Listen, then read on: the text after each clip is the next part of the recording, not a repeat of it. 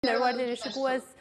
ne do të vijojmë në fakt bisedën, do të kërkoj menjëherë një koment nga atë Grigori për të kuptuar tanimë se çfarë po ndodh me institucionin e familjes, pasi sido që të jetë, sido që të jenë detajet e kësaj ngjarje, është e sigurt se familja është e përfshirë. Në të vërtetë, atë Grigori ju si e shihni edhe përmes punës tuaj, me të gjithë edhe shërbimin në komunitet, çfarë po ndodh me familjen shqiptare? Është e vërtetë dhe pavarësisht se ne mund të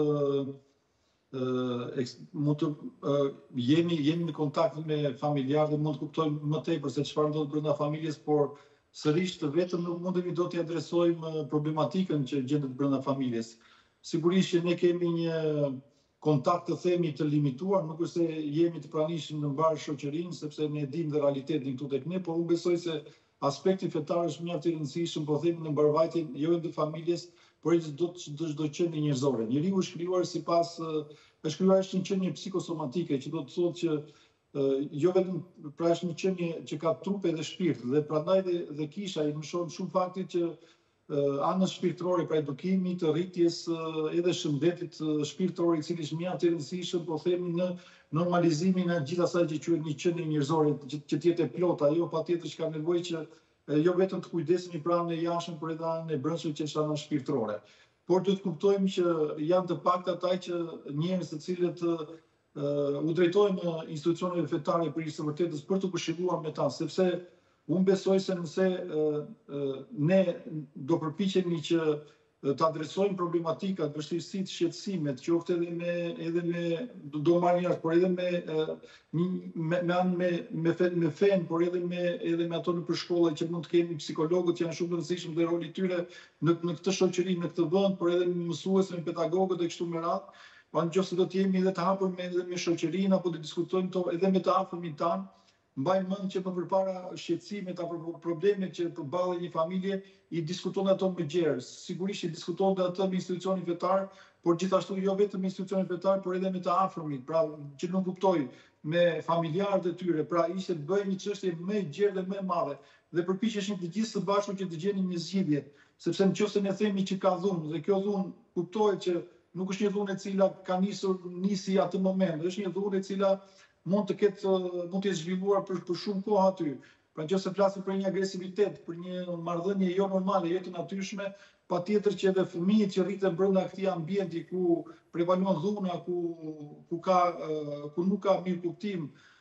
Ku ka imponim, atëherë patjetër që degradon në të tilla në të tilla situata. Kështu që unë besoj që të gjithë ne duhet të bëjmë diçka për ta shpëtuar familjen. Sigurisht është në rrezik, pra jemi në një në një situatë ku familja shqiptare është në rrezik dhe neve sigurisht që kur dëgjojmë një rast të tillë patjetër që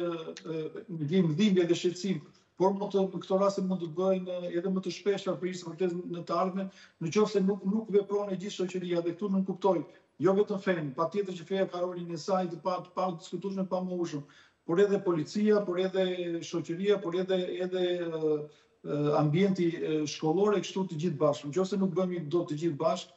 patjetër që këto këto ngjarje do të bëhen normale për hir të së vërtetës. Dua një apel për gjithë prindërit edhe fëmijët që na ndjekin këto momente nga ju at Grigori për këtë marrëdhënie që është kaq e rëndësishme, po ndonjëherë edhe kaq e vështirë. Për ju si do duhet të ishte?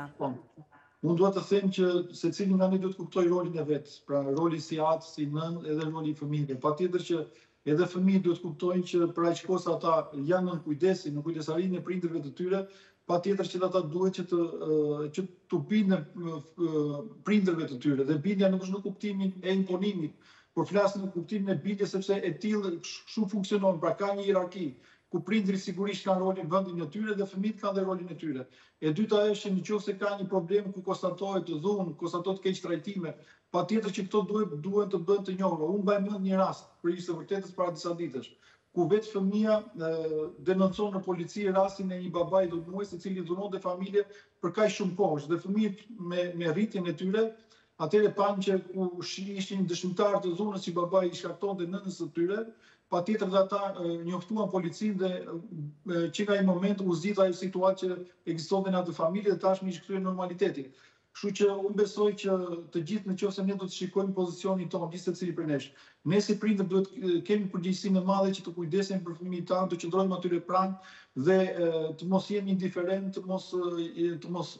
tregojmë papërgjegjshmëri ndaj tyre, të jemi të kujdesshëm në marrëdhëniet që ne kemi me bashkëshorten apo me bashkëshortin, kështu që unë besoj që në qoftë se e rikthejmë këtë marrëdhënien apo rolet e gjithsecilit kthehen aty në vendin ku secili ka, atëherë besoj se patjetër do të kthehet edhe familja do të kthehet në një ambient të krejt normal, kur neve siç siç ne u rritëm në një ambient kaq të natyrshëm, kaq të të bekuar dhe ku ndihemi aq mirë dhe kaq të dhe pikërisht jemi për dhe disa vlera që neve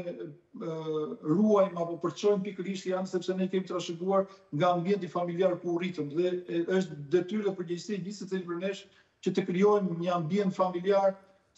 me qëllim që të rrisim fëmijë sa më të shëndetshëm nga ana mendore, nga ana shpirtërore, nga ana fizike.